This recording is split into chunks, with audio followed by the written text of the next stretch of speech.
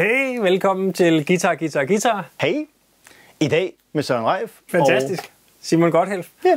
Og nu gør vi det, så nu snakker vi om modulation. Mm. Der har faktisk, jeg ved ikke om jeg har ikke talt, men der har virkelig været mange spørgsmål så om det. Det der har været flest gange, det ved jeg ikke, men der er faktisk rigtig mange, der har spurgt til noget modulation. Hvad for nogle effekter, hvad vil vi bruge dem til? Også fordi vi kom til at sige noget med noget forbudt chorus, og på et tidspunkt var vi ude i dit 80'er misbrug af chorus. Ja, ja, det var uh, Så sådan en snak om, hvad synes vi egentlig er fede modulationseffekter, og hvordan vil vi, hvordan vil vi bruge dem? Det er sådan ligesom det. Så øh, hvad, hvad, hvad, hvad bruger du? Hvad, hvad vil du sådan ofte anvende? Jamen, det, er jo meget interessant. Nu lavede vi lige for nylig det der med tre pedaler, hvor ja. vi begge to sådan ligesom krøb lidt udenom det, og begge mm. to kunne vi godt lide, at der var lidt modulation på det lade i hvert fald, fordi ja. Så blev de der værste abstinenser efter 80 kors, det blev lige dækket på den der måde. Ikke? Jo. Øhm, så det vil sige, det er stadigvæk en af de, de første ting, jeg bruger. Så vil sige, så øh, kunne jeg finde på, i stedet for Leslie, eller i stedet for Chorus, så vil jeg bruge Leslie faktisk. Okay. Og jeg tænkte over det der med Chorus, jeg tænkte faktisk, det var det show, vi lavede med Richard. Ja. Der, der var han jo meget diplomatisk, hvor jeg tænkte, åh, det er selvfølgelig den smarte måde, i stedet for at sige ord jazz og chorus og sådan ting, ja. så sagde han, I have a little bit of detune på. Ja, ja, ja, som jo er det er jo chorus. Ja. Men det er, sådan, det, det er den pæne måde at sige på, øh, ja. nej, øh, jeg har ikke noget alkoholproblem, øh, jeg kan kun lige Chardonnay eller et eller andet. Ikke? Så er det ligesom legalt. Ja, øhm, klart.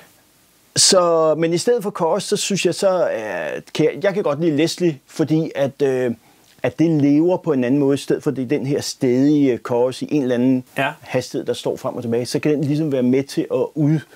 Ja, lige, ja lad os prøve øh, lige en gang. Hvis jeg nu tænder her, så er den sådan helt ganske langsomt, egentlig som man måske ville synes, om det var en form for chorus, ikke? Men så kan man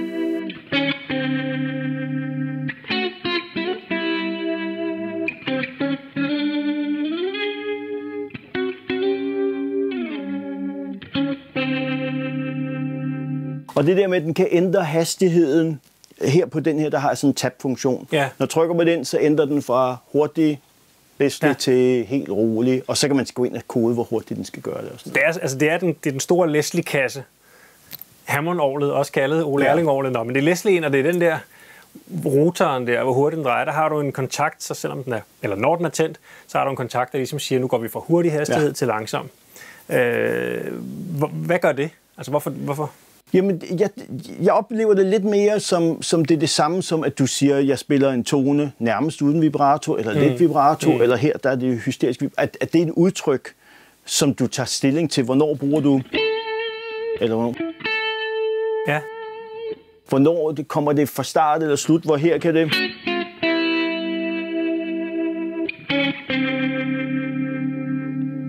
At det kan ligesom underbygge akkordskift, eller lægge ja, op klar. til dem, eller bløde dem ud, eller sådan.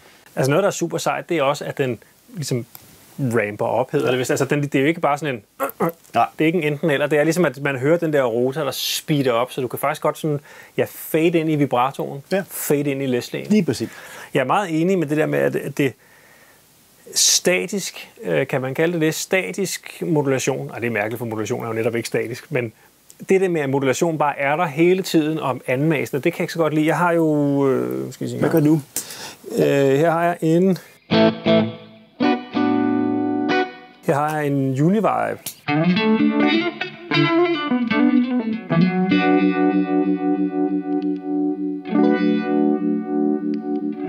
Ah, der har du de to speeds der.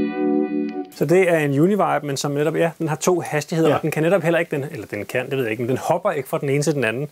Så, øh, så det er sådan en, det er min forbudte øh, modulationspedal. Og det vil sige, at den går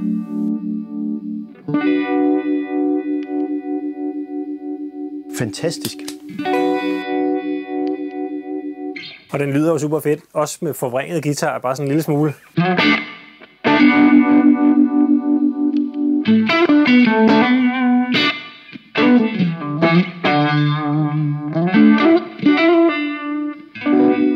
Så er der noget depth, du kan stille på den, og du kan... Ja, her kan man stille, øh, ja, hvor, hvor stor er det der dykket, kan man kalde ja. det. Og hvor hurtigt går det? Der er så ja. to tempi til ja. altså speed 1, speed 2, og så hvor stor er den der kurve. Øh, det er faktisk det, som jeg bruger den til. Jeg kan helt godt lide den, så hvis jeg skal vælge en effekt, den her effekt kan man jo høre. Ja. Så det er ikke sådan en, der ligger over i baggrunden, og så er det hele sådan, så tænker er der noget? Mm. Det her det er ligesom sådan en, nu spiller han med noget specifikt. Jeg lavede faktisk, jeg lavede faktisk en video på danske guitarister, hvor jeg skrev, Univibe, hvem synes det er fedt?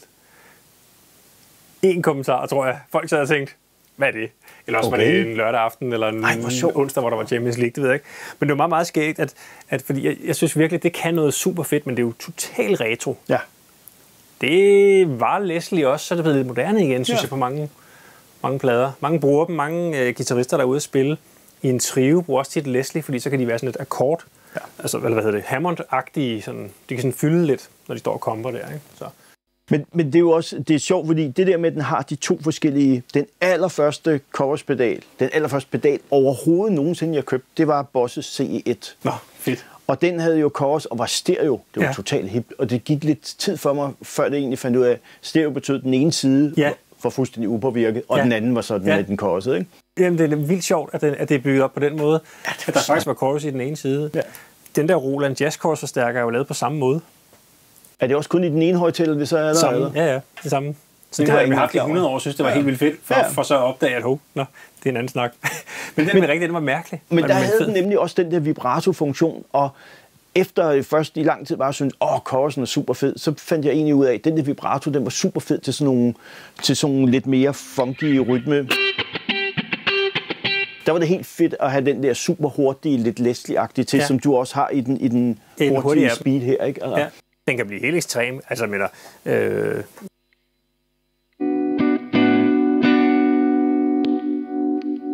man kan jo, jeg ved ikke, hvad jeg skulle bruge det her til. Ja, det er da lige præcis det sådan noget oktavhøvle. Ja. Men det kan da godt være. Jeg har altid brugt dem som sådan en, en mellemspeed, og så netop, altså, Altså for mig er det bevægelsen fra den ja. langsomme til den hurtige, ja. og men det er egentlig det, der sådan gør det levende, ja. som jeg synes er super fedt. Og jeg kan godt lide det der med det levende. Jeg har præcis samme udfordring, øh, eller ønske til tremolopedaler, fordi... At du kan ændre tempoet ja, på dem? fordi så sådan en tremolopedal, man bare sådan tænder. Ja. Fedt nok, men de passer aldrig helt i timen med nummeret egentlig. Det er mere sådan... Det er dejligt, hvis man kan flytte dem lidt. Ja. Jeg kan faktisk godt lide det bliver det sådan lidt mere dynamisk. Der har jeg jo, der, når jeg vælger tremolo på den her Mobius, som, som jeg bruger her, der har jeg jo også tab-funktionen på den. Så du passer den ind til ja. nummeret?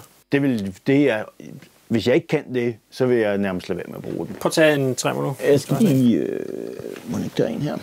Øh,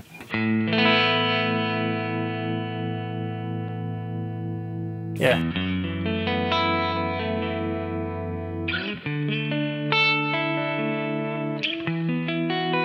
Måske med noget skrald på i stedet.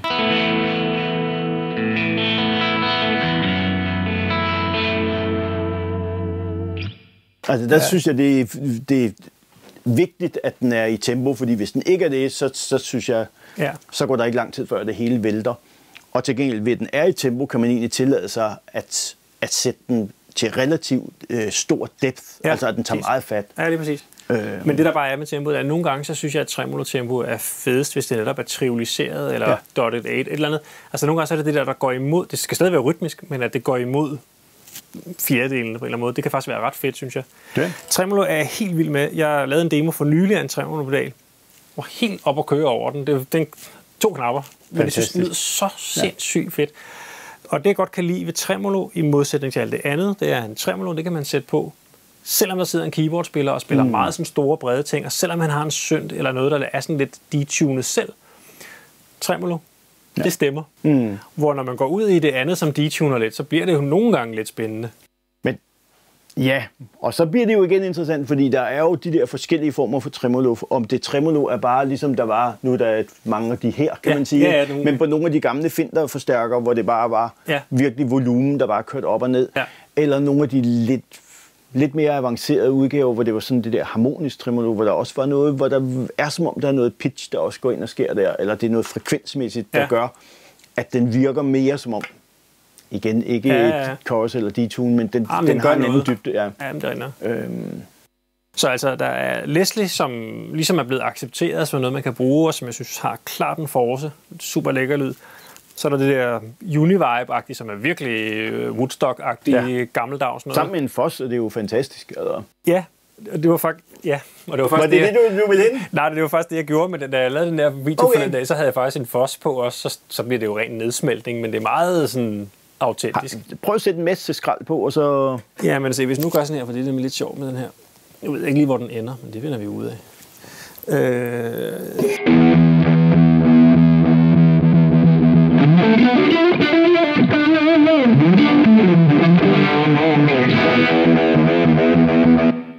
Der er nemlig en fos indbygget i den der. Nej, hvor vildt. Hvis man synes, det er sjovt.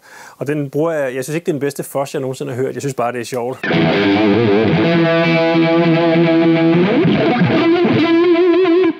Men se, der vil man ønske, at tab-funktionen var der. Ja, så går jeg ned på den langsomme. Ja. Fordi ellers så bliver den hurtig, meget sådan Ja. vanvittig. Så er det nærmest det der, hvad hedder det, når Hendrix over Machine Gun, tror jeg det hedder. Ja. Som er sådan lidt pulserende, ja, Ja. nedsmeltning. Ja. Men den er meget skæg, synes jeg. Men jeg synes faktisk tit, at den, hvis man vil høre effekten, fordi en Univibe er en effekt, man hører, så er det fordi, at man ligesom tænker, nu skal de høre, at jeg har en Univibe, Ja. og, eller det passer i nummer. Ja. For det, den kan man ikke skjule. Den, den er så underlig, øh, ja. Så, men det, men det, det er sådan, hvis man skal kunne høre det, så synes jeg, det, det, er, en, det er en super fed effekt. Ellers så kan være, at vi skal tage den der...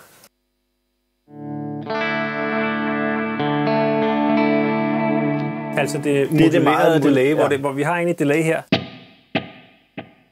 som egentlig bare ligger, men ja. der er noget modulation på, som ligesom... Når man får lidt af det der chorus, som ikke ligger på grundlyden, så når jeg skal bruge noget, så bruger jeg faktisk rigtig tit det. Ja. Altså det, det, det vil være mit foretrukne valg, altså at sige...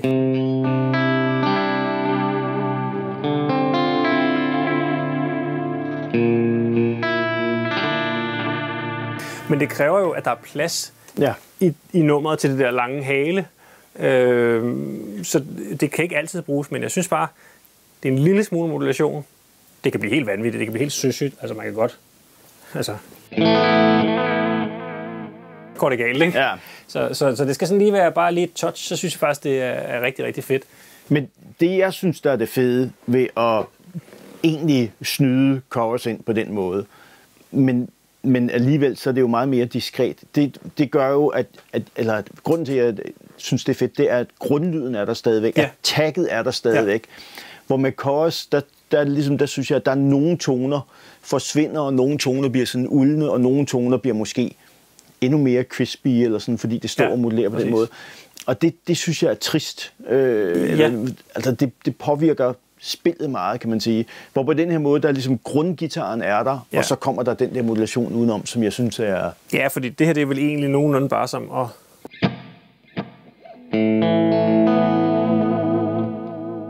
Altså det minder egentlig lidt om det, ja. Som kommer på delayet, kan Ja. man sige, men, men lyden er stadig ren Fuldstændig. øh, til sammenligning med... Ikke? Nu er det meget ekstremt Ja, at er skrue det op, ikke? Men så Ja. bliver det sådan helt detune ja. Ja. forfærdeligt, ikke? Så det, det kommer lige lidt an på, hvad, hvor, hvor, ja. Det skal ikke være alt for sindssygt, det skal bare være et lille touch, så synes ja. Ja. jeg, det kan være rigtig, rigtig fedt. Ja. Det kan være, skal, har du en, en rigtig chorus? Øh, Det har, jeg ejer ikke en chorus-pedal. Er det ikke vildt? Jo. øh, Kan man, kan man så godt være med i hulen? det tror jeg sagtens, man kan. Øh, men ikke der er en. Hvor er der en henne her? Og nå, det er tænk, hvis jeg nu drejer på den. Det vil læse i bucket. Den ikke Det er Sørens Mobius, vi drejer på. Hvis jeg nu går over og så vælger en clean lyd.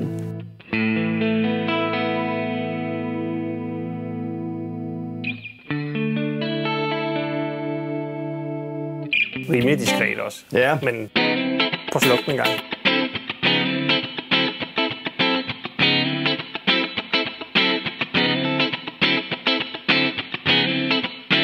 Prøv at tage en akkord, og så sætte den på.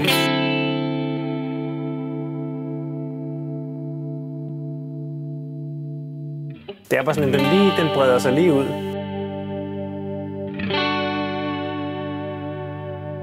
Altså, det er jo... Det er jo altså, jeg synes jo stadigvæk, det er helt legalt og helt Klart, fedt, det lyder fedt, til jo. nogle ting. Altså, der hvor det er den bærende rytmegitar, der irriterer det mig. Ja. Altså fordi, at, som sagt, det jeg sagde før, at det gør noget ved attacket, det gør noget ved sådan hele ja. energien, synes jeg. Øhm, men jeg synes lige præcis til, hvis det er sådan nogle flader, hvor man ja. måske øh, alligevel vil bruge noget arm eller et eller andet, ja. der er det, at den laver det der stereo spread, det synes jeg er fedt. Og specielt faktisk, så gør sådan noget så diskret chorus sammen med delay, sammen med rumklang.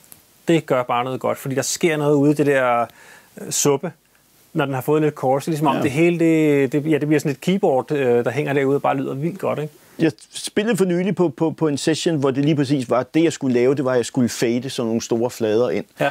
Hvor der skulle være sindssygt meget chorus på, sindssygt meget delay, sindssygt ja. meget alt ja. det der sovs. Ja. Ja. For at lige præcis, at det skulle blande med en stryger, øh, stryger keyboard pad, som kom på to år hver gang. Mm. Og i starten havde sådan lidt, det er lidt mærkeligt, fordi jeg også synes, det var voldsomt, men så sammen med det der keyboard, den måde, det interagerede på, det lød brandgodt. Altså. Ja, og men, der passer det ligesom ind. Ja, men det, men det er også den stil. Altså. Ja. ja, ja, ja, præcis. Altså, ikke, øh, Altså, chorus, altså 80'er og chorus, det hænger bare sammen, og det er også derfor, det har fået så mange tæsk. Det er blevet mm. så udskældt, fordi ligesom i 80'erne alt var smurt ind i chorus. Der var jo også mange heavy rytmegitarer, som havde det der detune eller chorus på ja. sig, som man nærmest, øh, man var helt søsyg, når man havde hørt nok ja. plader af det der. Så, og det er også derfor selvfølgelig, så, så på det tidspunkt, så kom fra det til Nirvana, der var ligesom om, så som men, jo også havde chorus, som bare var sådan den anden. Jamen det skulle jeg lige til at sige, fordi lige præcis dem, de, der var også masser af chorus på deres, men det var bare sådan på en mere skrællet måde. Ja, sådan en lo-fi ja. version. Ikke det der store uh, pudelhunds uh, Hvis nu man ikke bruger chorus, men er i noget eller det, så ja, hvad, kunne man bruge hvad, hvad skulle man så gøre? Flanger, Phaser, et eller andet, eller? Altså, jeg har aldrig rigtig blevet ven med... med... Oh, hvor er den henne her? Der er sådan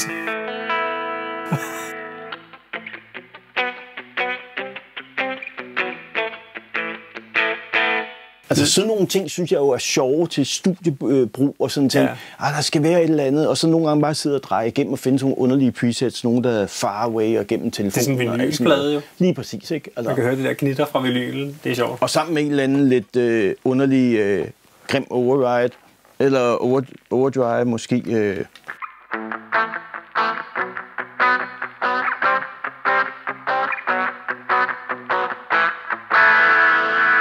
Det lyder som sådan, du ved, den der lo-fi, ikke? Og så lige bliver det så bum, så kommer ja, hele lige, nummeret, ikke? Lige, lige det klassiske radio øhm, der.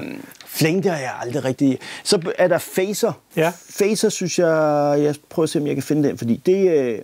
Phaser, det bruger jeg sådan rimelig tit hvis jeg ender i, eller rimelig tit, det lyder, men... Hver lørdag. Ja, hvis jeg står i en eller anden situation og spiller et eller andet soulagtigt noget, og tænker, åh, her er det fedt med noget guitar.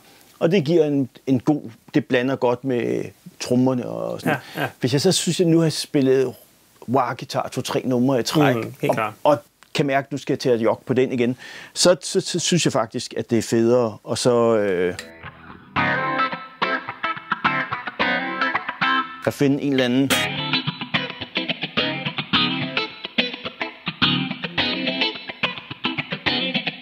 Den har lidt... den af igen, fordi det har sådan, det er en sjov effekt faktisk.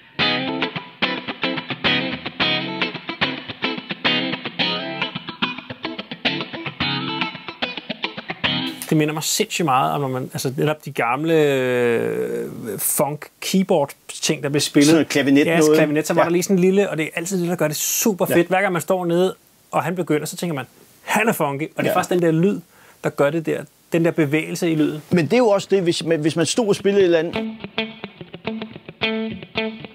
der er sådan en type lyd med kompressor på specielt, som gør, at man mm. står godt i mixet, men den kan også blive frygtelig stedig. Helt klart.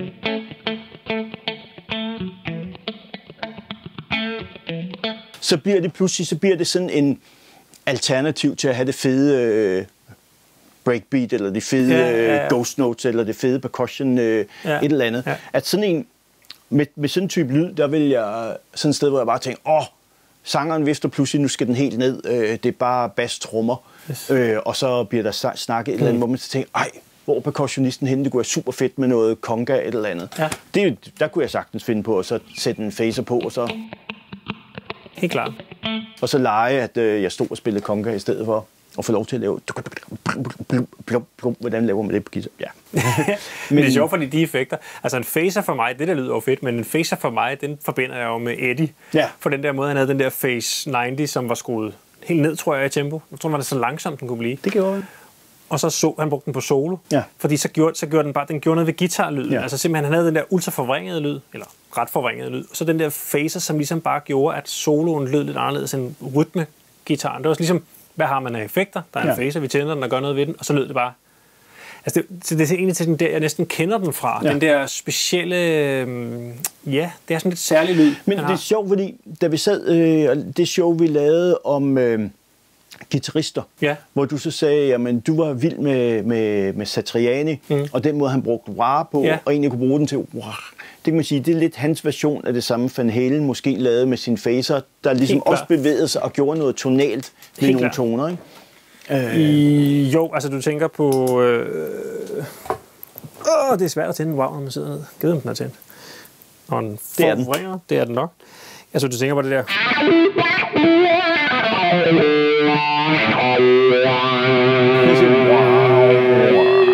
Altså selve Ja. bevægelsen, der, der, der ligger i de der ting. Jamen det er klart, altså...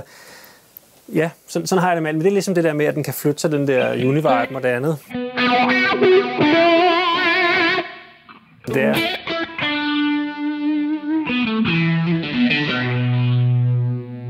Kan- Den står den også helt Ja. og laver Ja. et eller andet. Det er, jo, det er jo slet ikke det samme, men... Nej, øh, nej. Men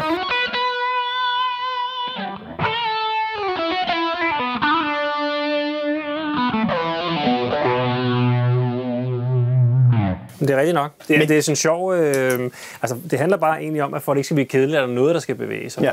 Og så er det bare et valg, om det skal være en detuned bevægelse, som jo gør noget ved, ved de andre instrumenter, eller om det netop er noget rytmisk bevægelse eller et eller andet. Og der, tit så synes jeg, at filteret, man selv kan styre, er bedre, og Afgjort. øh, hvad hedder det, tremolo-effekten, der ikke tuner, er tit bedre. Og når man så endelig skal, så, så, så, så må man også godt høre det. Men øh, det er jeg også fuldstændig enig med det, og man kan sige, det der nemlig, i, præcis i forlængelse af det, du siger, det der er problemet her, det, det kan være, at lige der, hvor den egentlig siger, nu laver jeg et dyk, Ja. at det er måske den tone, du har lyst til, skal have allermest accent. Ja. Og det er det samme, som hvis man spiller solo med chorus på, eller med et eller andet, at, at nogle af ens, øh, hele ens dynamik kan blive påvirket, hvis man siger bare bare da, da, da, og så skal den have nogle da, og så lige der, den, dykker. Ja, lige præcis. Så, ligesom, så, så ødelægger det ens fraser, det ødelægger i hele ens sammenhæng. Ikke? Og, Altså, man kan ikke selv styre det. nej, Nej det, og der, det er jo, der er waren jo meget federe, fordi den i den grad kan understøtte tilsvarende en trompet, der står med den der, eller Ja, en er sanger, der, hvad den nu kan være. Ikke? Ja, altså Brown bliver meget et filter, men det gør de andre effekter egentlig også for mig. Altså fordi igen en flanger, jeg kan sådan komme i tanke om, altså der findes masser af fede flanger ting. Der er også et Van Halen nummer, som må der, men det er det ikke, hvad hedder den? En Talking About Love, er det ikke en flanger? Det tror jeg det er. Det er ikke skarpt nok. Det kan I rette os på, Det det, ikke er, men det, det tror jeg, at det kunne være. Og, og det er sådan, der, er ligesom, der er den så tydelig, så det er ligesom den sound, der er. Øh, og ellers, fordi ellers er en flanger for mig nærmest det sted i nummeret, du ved, som man brugt, som jeg tror, vi har snakket om før, hvor det lige siger, så hele nummeret nærmest går igennem den. Det er sådan en, hvad hedder det, zero through flanger. Ja. Så går det hele igennem, og så, så er den væk igen. Som sådan en effekt på en Ja. eller anden måde. Øh, det er næsten på den måde. Fordi ellers så, så de chorus-ting, jeg har brugt, og de effekt-ting, jeg har brugt, det har været de der helt store 80'erne, hvor det kun var en lille smule detunet og lå ude bagved. Altså det var sådan i rackskabets tid, der, så havde man jo så mange presets, så kunne man lige så godt lave et, når man spillede clean, der lige havde lidt af det der. Mm. Men det er nærmest sådan en shimmer. Det er på samme måde som at bruge delay, på samme måde som at bruge rumklang lidt. Og, Jamen, og så kan man sige, øh, så er der jo kommet hele den, var det ikke den grønne Line 6 Jo. delay, som var den første, der lavede det der med, apropos Shimmer, som lavede delay, der gik oktaver op og blev sådan helt krystalagtig og sådan noget. Ikke? Så er det jo ligesom blevet den nye, nye Det måde at, at gøre af. det på. Ikke? Jo, der er kommet vildt mange af de der uh, timeline, som jo kan lave det der, men mange af de nye, der kommer, de har sådan en, uh, som ja, ja, det er sådan en shimmer-agtig Ja. ja. effekt, som er sådan en blanding lidt af noget, der er også noget tune i, detune i, og der er noget delay, men også lidt noget rumklang, så Ja. lyder det som. Ja. Eller også er der virkelig mange delays, det kan også være. Det tror jeg. Som det tror jeg. eller andet. Ja. Spændende. Ja. Hvad kom vi rundt om? Vi kom rundt om noget delay med lidt modulation, hvor man kunne snyde noget ind, uden det blev for meget. En Univibe, Leslie, Chorus, Tremolo, Phaser. Phaser, Flanger. Ja, det, det Er der noget, vi har glemt? Det er der uden tvivl. øh, vi kan jo kigge ned på den her. Der er, noget, der er sådan noget pattern tremolo og noget auto swell, destroy. Altså nogle af de ting hører i, ligesom i modulationsgruppen, men er alligevel ikke umiddelbart det, jeg fornemmer eller forbinder med, mm. med modulation. Men det er jo Nej. igen det med, at der er et eller andet parameter, der bliver styret noget automatik. Det kan så også være volumen, der bliver styret. Men så det, er i også, stedet for, at man bruger sin volumenpedal, så kan man sætte den Ja. til at gøre det automatisk. Eller men det er også, når man laver sådan en multipedal der, Ja. så putter man alt i, fordi vil man gå ud og købe sådan en pedal som solopedal, altså sådan, det vil man nok ikke, så skulle man have 50, ja. Ja. og det er sådan lidt, nå, så bruger man måske mest en 2-3 lyde, men det er jo sjovt, de er der. Altså for mig der er det brugbare, det er i virkeligheden det der med, at man kan styre de der forskellige tempi. Ja. Øh, og det er jo sindssygt fedt, hvis man spiller jobs, hvor det ligesom er, vi spiller altid de her numre, det er altid sådan her, at man simpelthen kan programmere ind. Den her tremolo passer til det nummer. Det er jo mega fedt, synes jeg virkelig. Altså, det er jo, ja. Man kan jo bruge det som hjælpemiddel også, at du ved, når jeg starter det her preset, og jeg spiller den første akkord, så får jeg tempoet Ja, altså, ja. af tremoloet, så er man allerede i gang, så behøver trommeslageren ikke tælle for, så er man hjulpet på vej, men det er bare, hvem man spiller underdelingen på den første akkord, ikke? Så. Jo, ja, men det, det er fedt. Det var modulation. Det tror jeg. Det var i hvert fald det, vi turde sige om modulation. Eller Ja. også var det, vi kunne, eller det, vi vidste. Hvis der er nogle pedaler, vi har glemt inden for modulationspedalerne, så må I endelig skrive det. Afgjort. Og spørge til, hvorfor havde vi ikke den med? Så er det nok bare, fordi vi har glemt det. Ja. Yeah. Men det var sådan lige dem, vi kunne se os selv bruge, og også lidt dem, vi ikke helt kunne se os selv bruge, tror jeg. lidt af det. Noget Men, af det i øh, hvert fald, ikke? Men hvis der er nogle numre, som vi burde tjekke ud, hvor I tænker, ja, men de ved ikke, at en flanger er det fedeste i hele verden, der kan I bare høre i det her nummer. Så skriv det ned under. Så øh, lover vi at kigge Afgjort. og blive vildt meget klogere. Vi vil forsøge i hvert fald, ikke? Yes. Så det. Fedt! Ha' det godt til næste gang. Yep. Hej. Vi ses. Hej.